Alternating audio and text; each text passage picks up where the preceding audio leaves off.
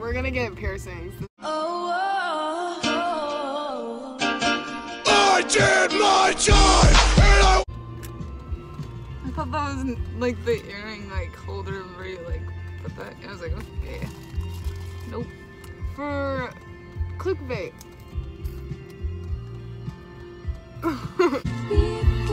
Sometimes I forget I'm blonde, and then I look and I'm like, that's how I was for a very long time. Like I got, I get up in the morning and I'm not wearing my glasses, so I can't see anything.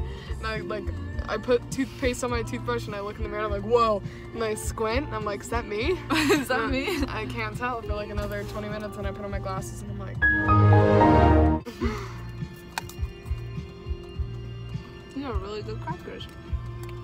there it is.